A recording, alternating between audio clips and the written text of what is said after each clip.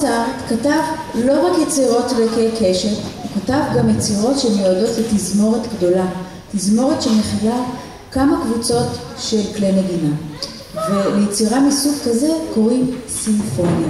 אז בואו נראה איזה קבוצות כלי נגינה יש לנו.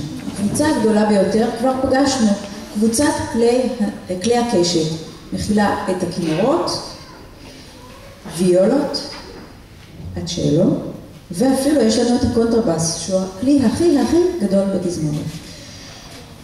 קצת מאחורה נמצאים קבוצת כלי הנשיפה מהעץ. יש לנו את החלילים, האבובים, קלרינטות, בסונים, וקבוצת כלי הנשיפה מהמתכת, יש לנו את קרנות היער. מאוחר יותר גם הצטרפו החצוצרות. מוצרט כתב לא פחות מ-41 סימפוניות לתזמורת כזאת. ואנחנו נשמע את הסימפוניה אולי הכי מפורסמת שלו, סימפוניה מספר 40. בואו נשמע רגע את המנגינה של הסימפוניה הזאת. נכון, ניתאי הזכיר לי משהו נורא נורא נורא חשוב. כשהצטרפו אלינו כלי הנשיפה מהאצבע מהמתכת, צריך לכוון שוב. בבקשה.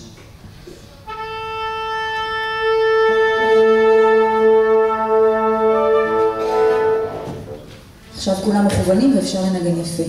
אז בואו נשמע רגע את המנגינה של הסימפוניה הבאה.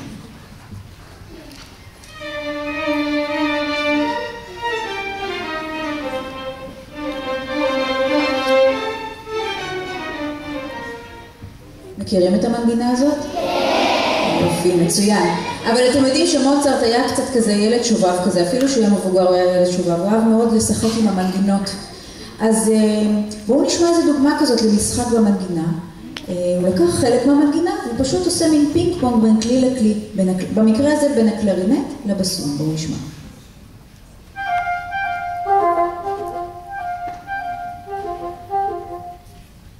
אז בואו נשמע עכשיו את כל הסימפוניה, ותשימו לב איך המנגינה ככה מתגלגלת מכלי לכלי, באיזה כלים בדיוק מנגנים את המנגינה הזאת. בבקשה.